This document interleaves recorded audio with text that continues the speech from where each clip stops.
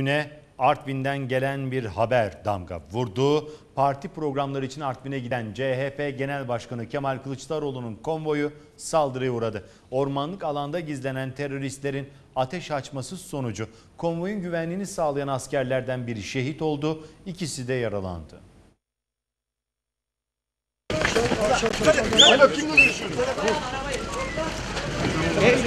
İşte güne damga vuran görüntü.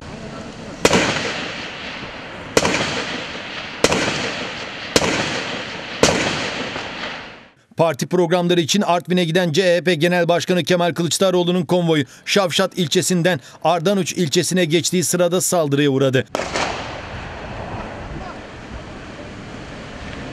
Ormanlık alanda gizlenen teröristlerin hedefinin Kılıçdaroğlu olduğu ancak fark edilince konvoyun güvenliğini sağlayan jandarmaya ateş açtığı ifade ediliyor.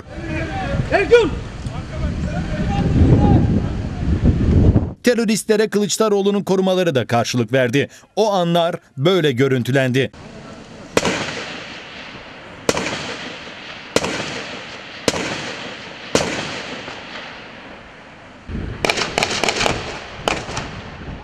Roket atmaya çalışan bir teröristin korumalar tarafından vurulduğu ifade ediliyor.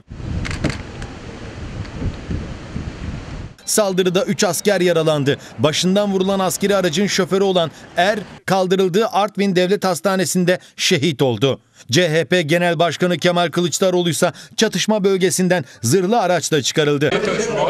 Efendim çok kısa bir şey alabilir miyim? Sağlığım yerinde. Ee, kimse merak etmesin. Sağ ol. bizim merakımız. Güvenli bölgeye alınan CHP lideri buradan da uzaklaştırıldı.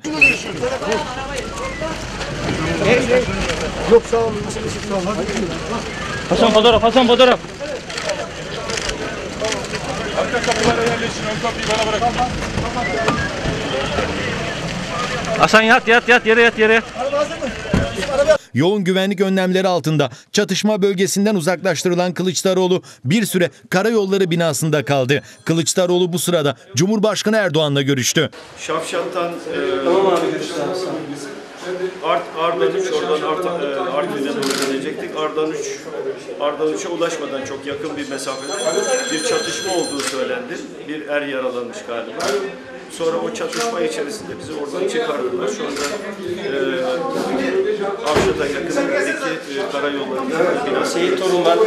CHP liderinin bir süre sonra Şavşat Kaymakamlığı'na götürüldüğü açıklanırken İçişleri Bakanı Efkan Ala saldırının terör örgütü PKK tarafından gerçekleştirildiğini söyledi. Arkadaşlarımızın söylediği kesin olarak PKK ve onlara yönelik operasyon e, başladı. Yapıl orada vardılar zaten yani güvenlik unsurlarımız. Böyle bir şey olunca hemen operasyonda başladı.